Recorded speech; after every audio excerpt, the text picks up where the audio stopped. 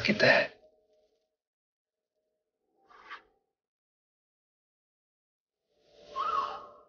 We're all family here, no matter how small.